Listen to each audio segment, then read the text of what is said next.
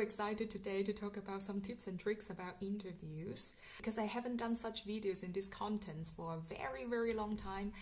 And recently, I have got a request from one of my friends about uh, how to prepare for the interview as well as uh, considering about change the job and so on. So I think it would be great that to make a video to talk about some hacks and tips and what kind of things you should pay attention if you are going for a interview. So I think you could find tons of videos on YouTube or on other professional channels about how to prepare for interviews and do's and don'ts and what kind of things you should pay attention to. You could find really a lot of information about that. Uh, however, I think a lot of them are not so much focusing on a specific situation which might fit to your situation. That's why I would like to emphasize first uh, the tips and tricks I am listing or talking about here in this video are specifically for the young professions who has been working for a couple of years in a certain industry and right now thinking about change to a similar industry or change to another firm to the nearly exactly the same position.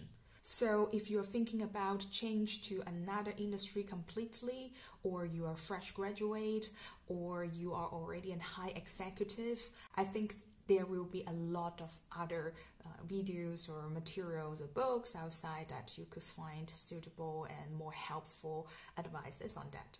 So let's get started. If you have already decided to go for the job interview, I suppose that you are very interested in the position at least and the company itself.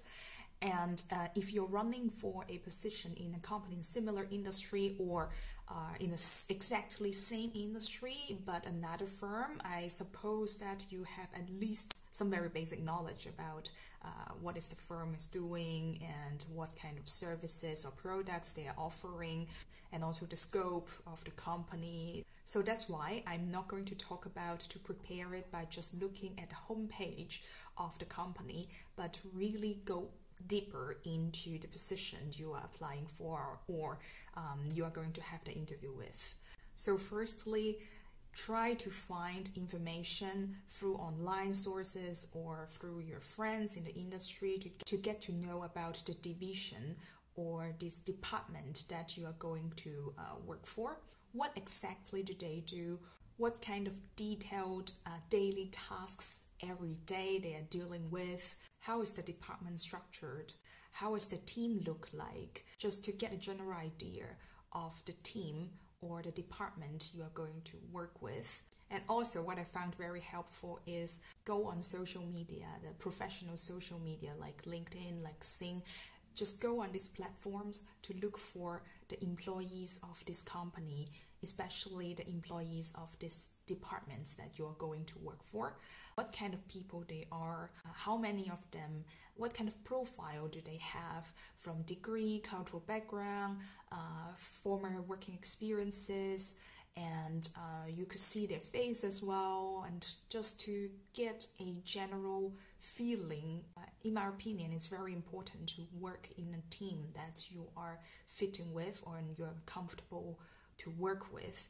So just to get the first image and idea in your head so that you won't be too surprised when you're in the interview trying to create a click with the interviewer or your future teammates and future colleagues. So, for example, if you have been studying in the same university as one of the teammates in the department, it will be a good connection to start with, of course, or directly with the interviewer. You you have been working in similar companies or worked in similar projects or even served the same clients. Just try to get something in common between you and the interviewer to warm up the atmosphere when you go to the interview. And on the other hand, by checking the profile of the former employees are also very useful. You can get a feeling of um, what kind of employees this company prefers or this department prefers. And on the other hand, you could see if there are any differences between the general profile from the former colleagues and the existing employees. to see if the standards of uh, candidate selection from the company side, if they're consistent or if they have gone through a big change in the last maybe years or months, you have seen they have been hiring people with a total different background a few months ago, a bunch of them, and right now all of them are not there anymore, and all the callings existing are with a similar profile, or you could somehow see the pattern of how they have got selected, that you could somehow create an image or place a red flag at least in your mind that this company or this department might have gone through some executive changes, department changes, restructure, or the direction of business have been changed so differently so that they have to hire other profiles to fulfill their tasks. Through these online or offline researches, it's very helpful for you to come up with the questions you would like to ask when you are in the interview. It's very important to ask the right questions and the key questions that to help you to, to uh, make the good decision if you really would like to join this company or not. And another thing is, after such a research, you will be able to compare somehow your existing job and this future position you're going to run for if there are any differences and what kind of differences, uh, what kind of things you would think would be a future challenge for you, what could be beneficial for your career path, uh, what will be remaining the same as your old job, or what could be worse.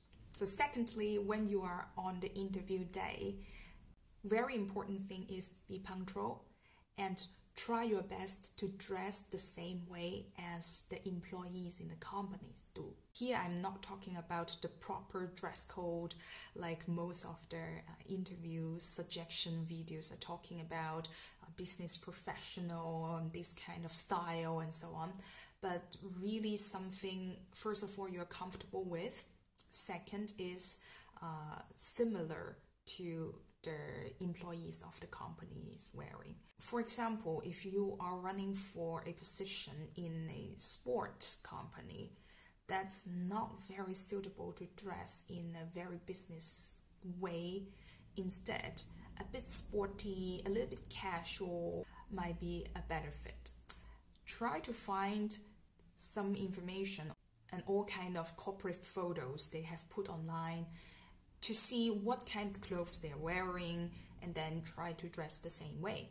This is very beneficial because first of all, you create an image of you are one of them immediately, and it also helps you to see if you're really satisfied or comfortable uh, dressing in this kind of style of clothes every day and work in this environment with all the people are dressing in this way. And prepare your self introduction first the first question of all the interviews, I think maybe 80% of the interviews will ask you first, tell something about yourself.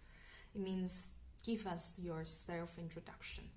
This is a hard question. You have already been working for a few years, it means you are not a young fresh graduate, so it's not appropriate to talk about your biography totally from the beginning pay attention to pick some points or some period of time in your life or in your career so far that can reflect your strength or your knowledge or your um, personality. And also avoid too much personal issues or privacies.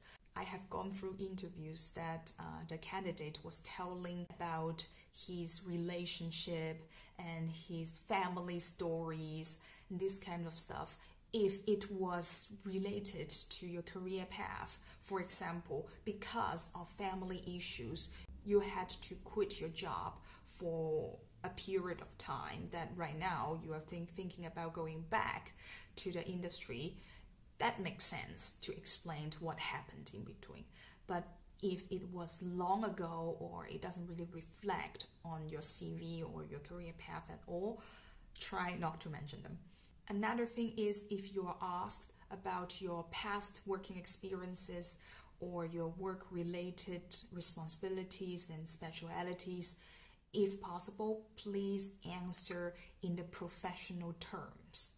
Will show the interviewer a straightforward image that you have been working in this industry, you have really gained these experiences, you know what you are doing, and you're ready to go for the job in their company.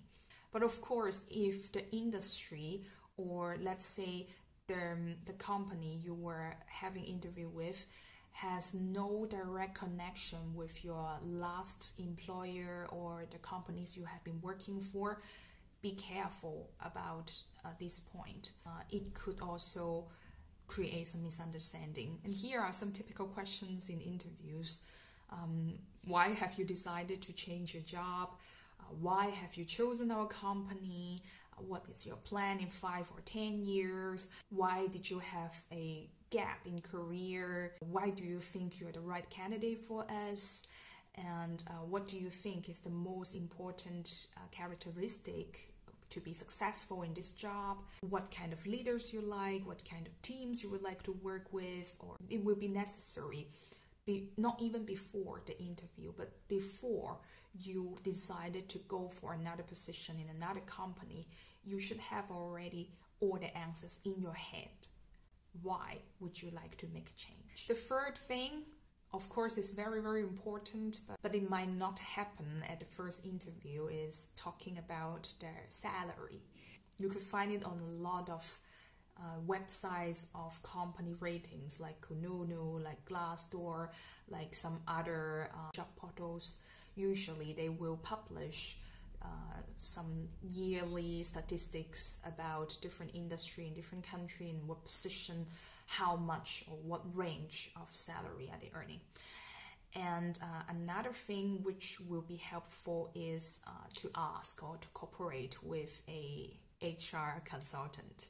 So they're the one who are always in the industry and they know their candidates or what kind of level in what company how much they're earning how is the package usually looks like and sometimes even their salary structure and do pay attention that in some countries it is uh, regulated by law that the company is not allowed to ask your current salary level. And the last thing I would like to give it to you as a suggestion is be yourself, be honest in the interviews and do ask questions smartly, ask the things you're really concerned about, and pay attention to the answers that they have given to you. If possible, do request for a short meeting or half day observation with your teammates and your direct boss.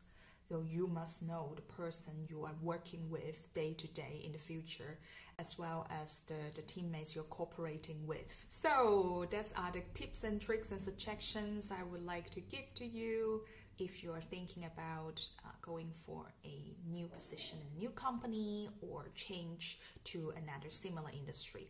I hope they are helpful and if you have other ideas or questions, please leave the content down there. If you like my content, please give thumbs up and I will see you next time.